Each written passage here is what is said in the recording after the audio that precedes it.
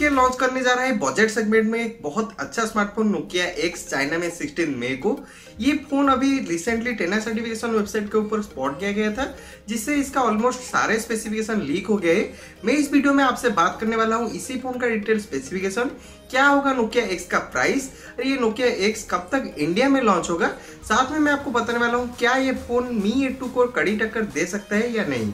So guys let's begin दोस्तों Nokia X confirm 16 मई को चाइना में लॉन्च होने जा रहा है। पर ये लॉन्च होने से पहले टेना सर्टिफिकेशन वेबसाइट के ऊपर स्पॉट किया गया था।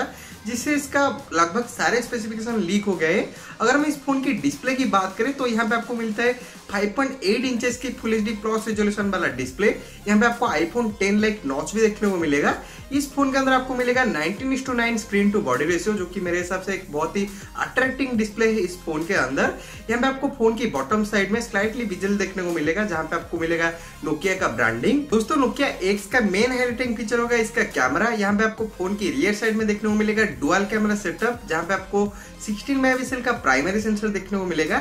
यहाँ पे दोस्तों सेकेंडरी सेंसर के बारे में कोई भी इंफॉर्मेशन नहीं है। अगर हम सेल्फी की बात करें तो इस फ़ोन के अंदर आपको मिलेगा 16 मेगापिक्सल का सेल्फी कैमरा तो यहाँ पे लीक से कहता है कि आपको इस फ़ोन के अंदर कमाल का कैमरा परफॉर्मेंस देखने को मिलेगा। अगर हार्डवेयर की बात करें तो इस फ़ोन के अंदर आपको देखने को मिल सकता है क्वालकॉम स्नैपड्रैगन का 636 ऑक्टा कोर प्रोसेसर जिसका क्लॉक स्पीड है 1.8 गीगाहर्ट्ज शायद आपको इस फ़ोन के अंदर भी हेलियो का P60 प्रोसेसर देखने को मिल सकता है, पर ज़्यादा चांस ये है कि आपको इस फ़ोन के अंदर क्वालकॉम स्नैपड्रैगन का 636 देखने को मिलेगा। ये फ़ोन लॉन्च होगा तीन अलग अलग रैम एंड स्टोरेज वेरिएंट के साथ में।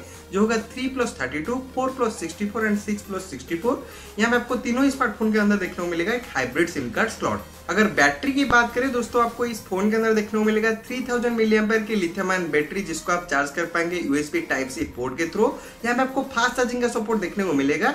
इस फ़ोन में आपको मिलेगा Android 8.1 Oreo out of the box अगर सेंसर्स की बात करें तो आपको इस फ़ोन के अंदर सभी तरह के basic sensors including fingerprint scanner देखने को मिलेगा। साथ में आपको इस फ़ोन के अंदर फेस अनलॉकिंग का फीचर भी देखने को मिल सकता है। ये फ़ोन दोस्तों चाइना में लॉन्च होने जा रहा है। सिक्सटीन मे को चार कलर वेरियंट के साथ में, जो है black gold silver and blue अगर हम इस फ़ोन की प्राइसिंग की बात करें तो इसका four GB RAM plus sixty four GB inter storage variant का प्राइस होगा one five nine nine one जो कि है रॉफली सेवेंटीन थाउज़ेंड इंडियन रुपीज़ और इसका सिक्स जीबी रैम मॉडल का प्राइस होगा one seven nine nine one जो कि है रॉफली नाइनटीन थाउज़ेंड इंडियन रुपीज़ दोस्तों, इस फ़ोन का प्राइस काफ़ी अच्छा होने वाला है। इसका कैमरा भी काफ़ी अच्छा होगा। अगर ये फ़ोन अच्छे प्राइस और इस कैमरा के साथ इंडिया में आता है तो ये डेफिनेटली मी ए टू को भी कड़ी टक्कर दे सकता है। दोस्तों, ये थी नोकिया एक्स के सारे स्पेसिफिकेशन और प्राइसिंग अब बात करेंगे ये फ़ोन कब तक इंडिया में लॉन्च होगा? देखिए दोस्तों, ये स्मार्टफ़ोन अभी 16 मई को चाइना में लॉन्च होने जा रहा है। चाइना के लॉन्च के बाद ये स्मार्टफ़ोन बहुत जल्द इंडिया में भी लॉन्च होगा। लीक से कहता है कि आपको ये फ़ोन बहुत जल्द इंडिया में, यानी कि जून या जुलाई के महीने के अंदर ये फ़ोन देखने को मिलेगा इंडिया में।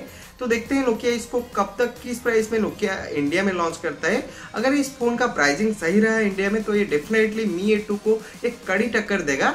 अगर इसके बारे में कोई भी अपडेट आता है इंडिया लॉन्च को लेके तो मैं आपको जल्दी से इन्फॉर्म कर दूँगा। उसके लिए आप मेरे चैनल को सब्सक्राइब कर दीजिए और बेल आइकन को भी प्रेस कर दिए अब दोस्तों, अगर इस नोकिया एक्स को मी ए टू के साथ कंपेयर करें तो नोकिया एक्स के अंदर आपको काफ़ी बेहतर डिस्प्ले देखने को मिलेगा मी ए टू से, क्योंकि यहाँ पे आपको एक आईफोन टेन लाइक नॉच भी देखने को मिलेगा, जो कि इस फ़ोन को एक अट्रैक्टिंग लुक देता है।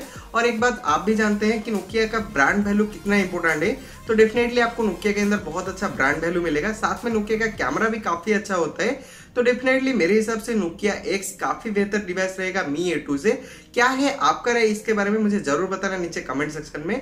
मेरे हिसाब से आपको ज़रूर वेट करना चाहिए नोकिया एक्स को लॉन्च होने के लिए इंडिया में। तो डेफिनेटली एक बहुत अच्छा फ़ोन रहेगा मी ए टू से।